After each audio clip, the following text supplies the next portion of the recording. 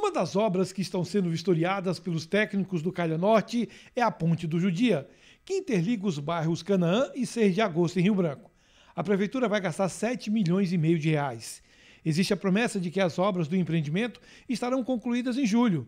Para saber se o dinheiro foi mesmo aplicado e a engenharia segue o projeto original, o diretor do programa Calha Norte, general Ubiratã Poti, trouxe mais de 30 técnicos para o Acre.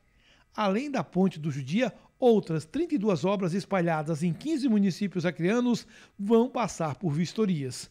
O acompanhamento dos projetos é uma dinâmica comum do programa do governo federal, que fica junto com os gestores desde a elaboração dos projetos até a inauguração da obra. O acompanhamento é de fundamental importância, até para a gente, num determinado momento, poder intervir e corrigir algum erro que possa se propagar e se transformar num, num problema maior, tanto para a prefeitura quanto para quem vai se beneficiar pelo objeto. Nessa terça-feira, durante evento na sede da Associação dos Municípios do Acre, os representantes do Calha Norte tiraram dúvidas de projetos e passaram informações sobre repasses de recursos.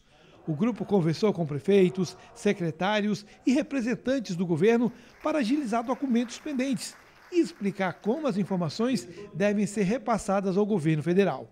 No Acre, o Calha Norte já liberou nos últimos quatro anos 404 milhões de reais em 240 convênios com os municípios e o Estado.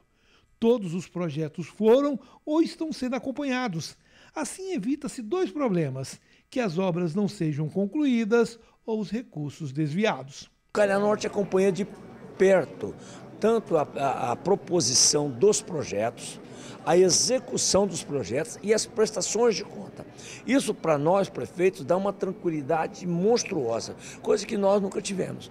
Né? Tem muitos convênios que vêm via Caixa, também é bom o trabalho via Caixa, mas com o Calhanor está sendo melhor ainda, porque a gente tem uma liberdade grande, trata diretamente com os técnicos, o General Poti, que é o comandante maior, está sempre junto, então é, tudo eles procuram facilitar para que os municípios não percam dinheiro e não atrasem os projetos. Ligado ao Ministério da Defesa, o programa Calha Norte atende com o projeto os 10 municípios da Amazônia Legal.